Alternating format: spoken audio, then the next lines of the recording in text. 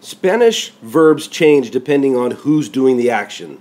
So when you're conjugating a Spanish verb, you have to know who's doing it. To do that, we use Spanish subject pronouns. So a Spanish verb changes depending on which pronoun or groups of pronouns are doing the action.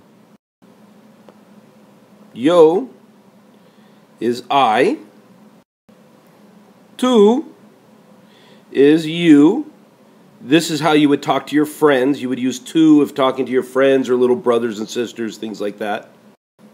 So for singular things that are doing an action, we use él For he or male things doing the action, ella For she.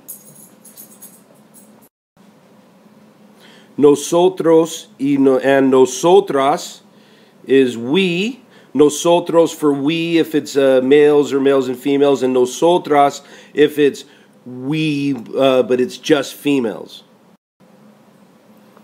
For plural, things doing an action, we have ellos, which is they, ellas, which is they feminine, so a group of females that you're referring to is they. Plural, ustedes is you all, so it's like as if you're you're uh, talking to a group of people and and referring to them as you.